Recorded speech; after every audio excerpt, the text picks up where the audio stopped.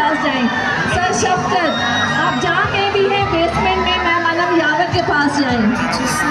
हाँ बनाइए। बनाइए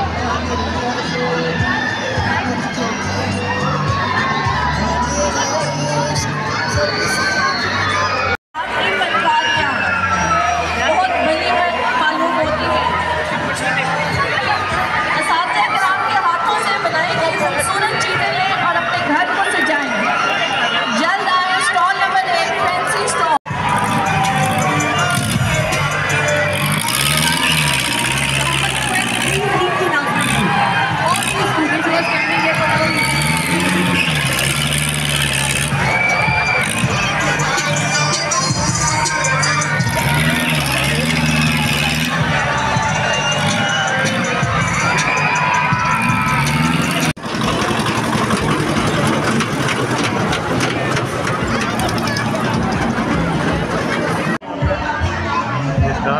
लगा था दस बजे नहीं